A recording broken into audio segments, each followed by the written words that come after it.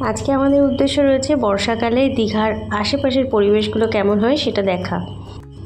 মোহনা ছাড়িয়ে নায়কালী মন্দিরের গেট পার করে এবার আমরা চলেছি মন্দারমণির উদ্দেশ্যে।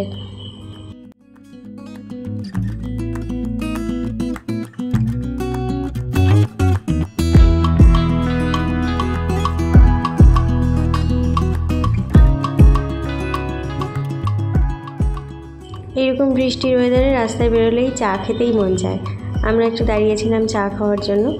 আর চাটাও হয়েছে সত্যি দুর্দান্ত। দেখতেও যেমন হয়েছে, গন্ধও তেমন হয়েছে, খেতেও হয়েছিল দুর্দান্ত। বৃষ্টিকে উপেক্ষা করে ঘুরে বেড়ানোর এনার্জি দ্বিগুণ হয়ে গেল।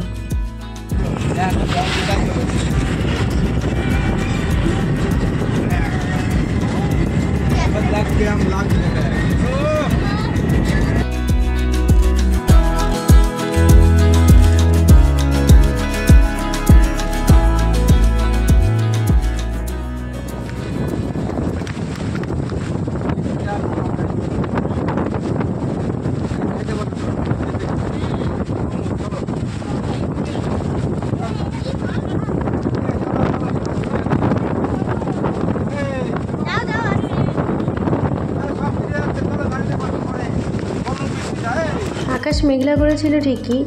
যেই গাড়ি থেকে নেমেছি, দেখুন, এই মুহূর্তে বৃষ্টি নেই, কিন্তু কয়েক সেকেন্ডের মধ্যেই কোথা থেকে যেন ঝেপে বৃষ্টি আসলো, আর আমরাও ভিজতে শুরু করলাম।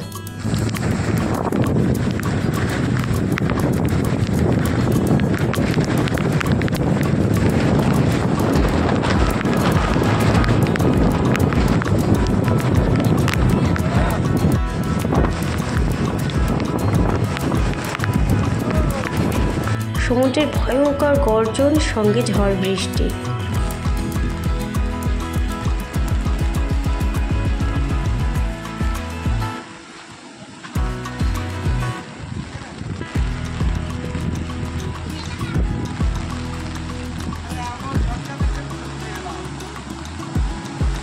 না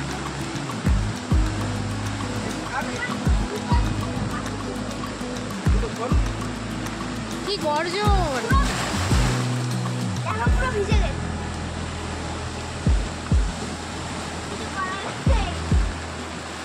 আরে আমাদের একটা ছবি তুলে দেবা? হ্যাঁ দেবো। আরে ভিজেই থেকে আসো। অবশেষে আমরা এই জায়গাটাতে আসতে পারলাম আর বৃষ্টির দাপট একটু কম ফলে এখন মোটামুটি একটু ছবি টবি তোলা যাবে।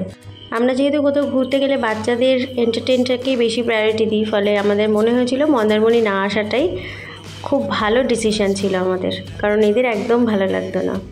মন্দারমণি থেকে বেরিয়ে বৃষ্টি ঝিরঝির করে পড়ছিল, তবু ছাতা মাথায় ঘুরে ফিরে বেড়ানোর মতন ওয়েদার হয়েছে সবে। আর আমরা এখন এই মুহূর্তে আছি তাজপুরে। আমাদের গাড়ির ড্রাইভার এই মুহূর্তে এইখানেই দাঁড় করালো।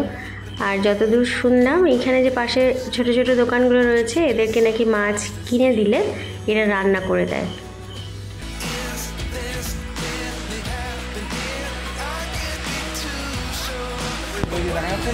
হ্যাঁ। আমরা ওখানে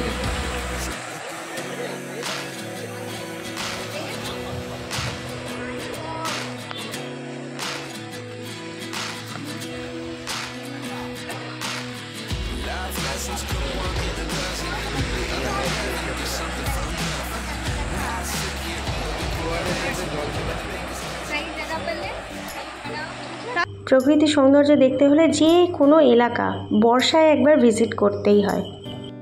ছেলেরা খাচ্ছিল চা, বাচ্চারা খাচ্ছিল ডাব, আর আমরা দেখছিলাম মাছ।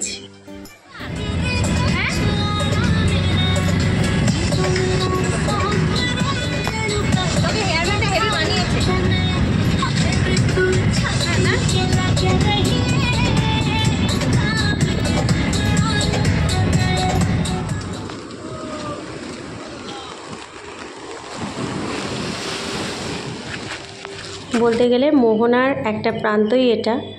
ইন্টারনেটে লোকেশন দেখাচ্ছিল লাছিমপুর এখানে আমরা আসলাম কয়েকটা ছবি তোলার জন্য। এই চিংড়ি দেখো। ওটা কি টুন নাকি? দাদা? ওটা টুন মাছ নাকি? এগুলো কি? এগুলো? এগুলো কি মাছ? এগুলো? চিংড়ি? রেখেছে ও আচ্ছা আচ্ছা। এই দেখো।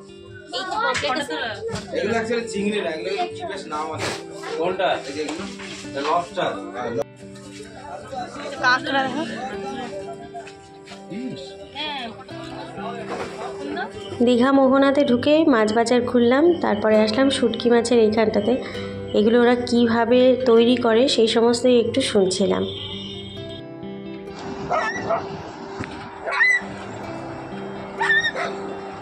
মোহনায় নেমে গেছিল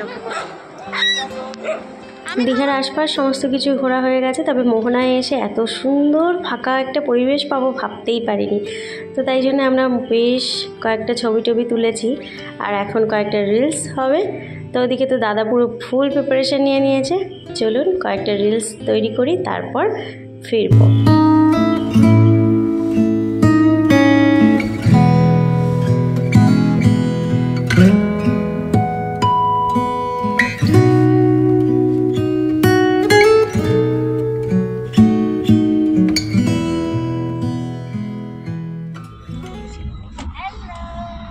হ্যালো এই তো জামায় হ্যালো লেখা। ক্যারি প্যাকেট লাগবে হ্যাঁ দিয়ে যান। আমরা বাড়ি ফেরার জন্য গাড়িতে উঠে পড়েছি অর্থাৎ বাসে আছি। তোকে তো দেখাই যাচ্ছে না রে এটা সরা। ও মাই গড একটা? দাদা আরেকটা দে আর। একটা একবার ইউজ করলে আর করা যায় বাড়ি ফেরার সময় যদি একটু শুয়ে গড়িয়ে যাওয়া যায় তাহলে বাড়ি গিয়ে অন্তত শরীরটা অত দুর্বল লাগবে না।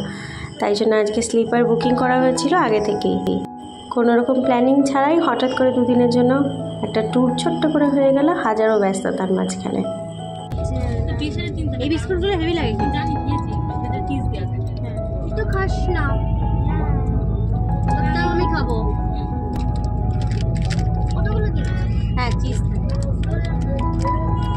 কতগুলো কি হ্যাঁ চিজ ও তোর বাবা পরে এবার একটা দিয়ে দাও।